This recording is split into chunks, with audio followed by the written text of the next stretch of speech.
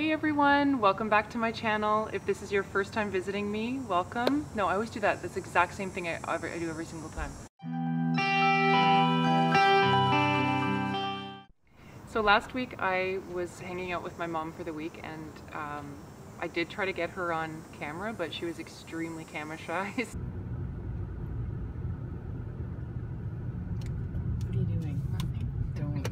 don't. no, I don't want you to do. Seriously, I don't want you. I'm not gonna put it in anything. No, don't. Stop. No. I'm not. I'm just filming us like going no, off don't, to. Don't. I'm not filming you. We're going off to Gentle Fit. No, because I'm not putting you in it.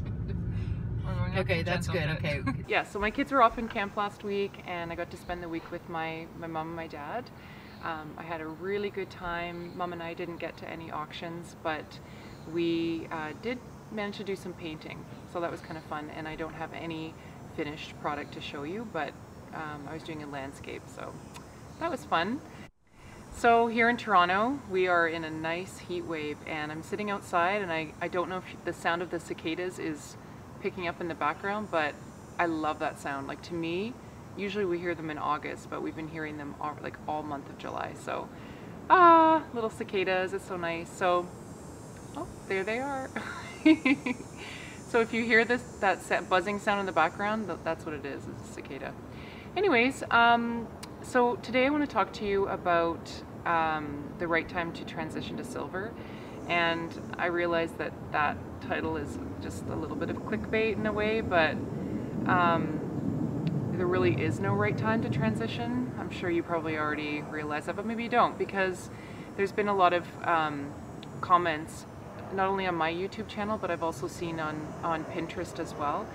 Um, sorry, not Pinterest, on Instagram. Um, amazing support networks on Instagram, by the way. So if you don't already have it, I would sign up. Um, yeah, so I've heard some, some comments from um, women in their 20s, 30s, 40s, 50s, 60s, and so on. And a lot of the comments I hear are, it's not the right time. And the reasons why um, often are because of the pressure that we are receiving from our friends, right? Like these are our, and I shouldn't even go friends because these are our like closest, closest friends oftentimes that really, they do want the best for us and they truly believe, that is an awful sound in the background. What is that?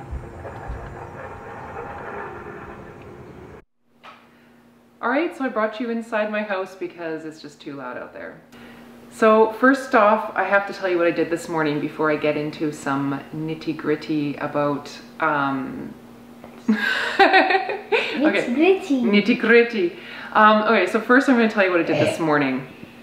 So two weeks ago, I had a video um, and I, it was my, whatever, 7th, 16th month update, I think. And I said in it, I'm gonna be patient and I'm not gonna cut my hair. I'm just gonna let it grow. So I'm gonna try to worry less about the, the um, yellow bits that I have in my hair. I, for some reason, I wake up every single day and I look at them and think about cutting them and stuff. And um, yeah, I just think it's, it's, I need to have more patience. So that's what I'm gonna be working on for, for now for month 17 well, literally lasted two weeks because this morning I woke up and I was just so tired of looking at those orange ends that I took, well, I took my, my scissors and just chopped. So the back now, I don't know, Everett, can you see this in the? Yeah. So the back now is pretty good, but you can see this whole top area right here is chopped short. So I literally, I'm pretty sure I'm borderline mullet action right now. It's not a nice haircut. So I'm just gonna pull it back like this and I'll book um, an appointment with my hairstylist to just fix it up a little bit for me. So anyway, that aside, lack of patience, I swear that's like a full other video because um, a lot of you comment about, about that as well and wanting to give up and all kinds of stuff. So we'll, we'll save that for another video. But anyways, um, yes, yeah, so right time to transition to silver. So the thing is, is there really is no right time to transition. I think the right time is so individual for each one of us. And, um, you know, I could say to myself, oh, I wish I had have done this. Like, you know, eight years ago or whatever when I was first thinking about it in my early 30s. But truth be told, I just, I don't think I would have been ready then. So I think this is the right time for me. And for all of you who are watching this, it's probably your right time as well. Um, but I find like if you are having so many doubts and you're just not sure, and this is, be, I'm talking about you're not going through the transition right now, you're thinking about transitioning. If you're having tons of doubts, um, then it probably isn't the right time. So for me, I I was like 100%, I'm like, that's it. I am so sick of dyeing my hair. I cannot do this anymore. And I knew. But the problem is, is that when you're going through the transition, those doubts will start creeping in because you'll look at yourself in the mirror. One um, subscriber uh, commented, I think she's like eight months into it, and she said, um, like, I can't, I can't handle this. I hate it. And that's the part where you need that patience to just persevere and go through it because what you see in the mirror at six months or eight months or 10 months is not what the full look is going to be. It isn't, unless you have like a really, really short pixie cut and that's how you style your hair, then it may just take a few months and you're at, you're where you wanna be. So, but even then, if you've got like, you know, say short in the back and a little longer in the front or something, it's still gonna take a while to get that, that growth. So, um, so um, a really lovely woman um, on uh, Instagram, she commented she's in her 20s. And so she's trying to transition and her friends are basically saying to her, um, you know what, I liked the way you looked better with brunette hair. Like she's actually transitioning right now and they're telling her like, you looked better that way.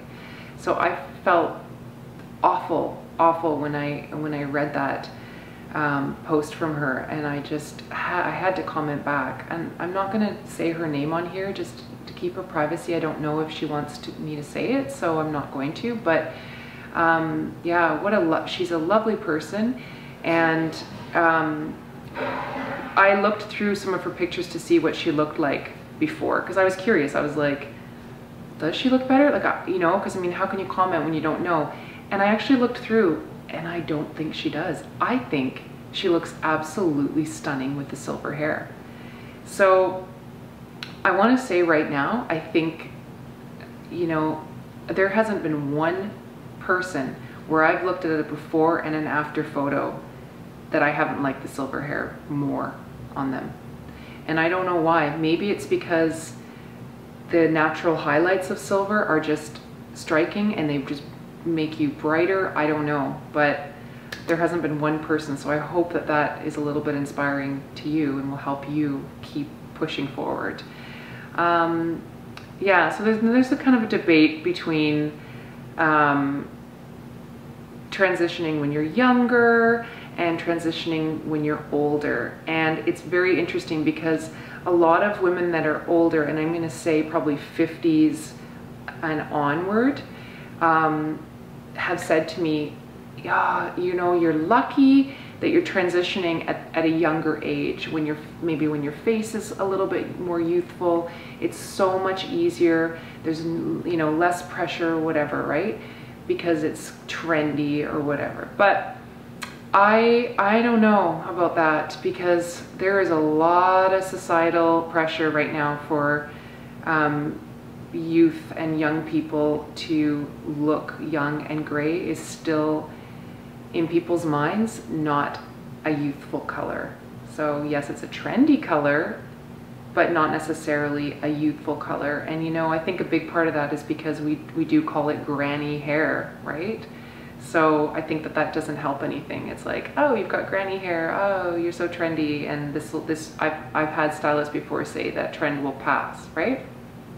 It's not a trend, it's real. And I think that the more women that are authentic out there, it'll just become normal, I think, for, for, for people. So yeah, so I don't know. I, I think that there isn't a magic age um, when you're transitioning. I think the key is, is that you feel comfortable in your own hair And that confidence that shines and that shows and you're laughing and you're having fun, even with, you know, a few inches of growth and the rest is brunette or the rest is red or whatever. But you're laughing, you're having fun. You don't look like you're, you know, moping around and grumpy. I think it just doesn't matter what color you have on your head. I don't think any, like people don't care. They want to, um, they want to know you, right? So, all right, so moving forward, um, I've had a few different requests for um, videos and one of those requests is actually for uh, fitness and health. After my first son was born and I released from the military, I decided that I would be a personal trainer when he was about a year old. Um, and it was kind of funny because I started I started personal training and then I think three weeks after I had started, I realized I was pregnant with my, my second child. So I didn't want to tell these new and potential clients.